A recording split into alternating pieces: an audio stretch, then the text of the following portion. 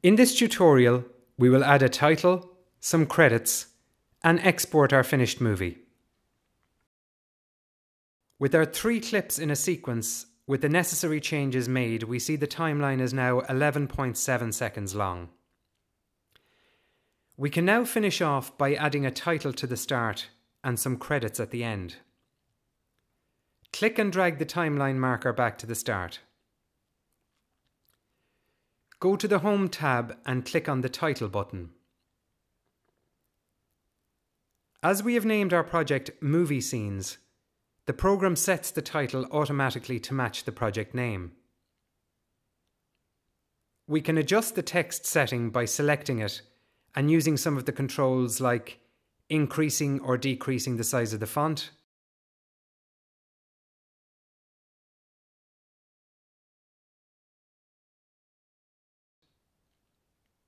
or changing the colour. We will choose this grey colour.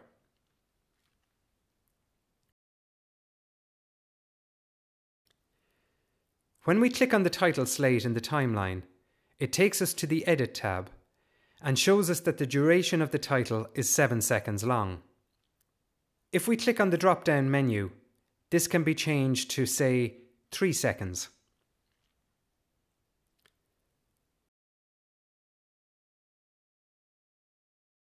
We can also put some credits at the end of the sequence by playing it to the end and clicking on the Home tab and then Credits. This brings up a default setting of credits within a text box that is set to scroll. We can type whatever we want into the box and it will scroll like real movie credits. So type in movie scenes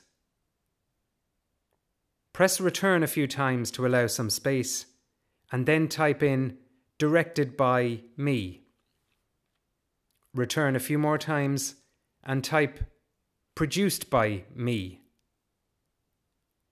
And finally, return down a few more times and type in a me production 2015. When we play it, we see it is 7 seconds long, which is fine.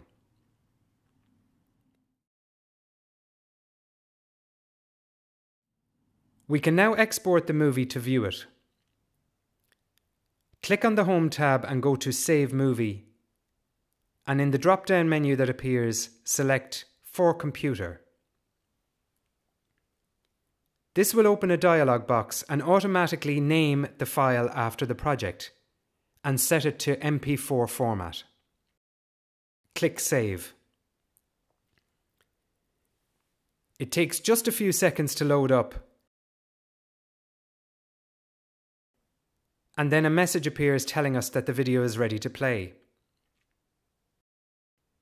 Click on play and it can now be viewed in a separate window.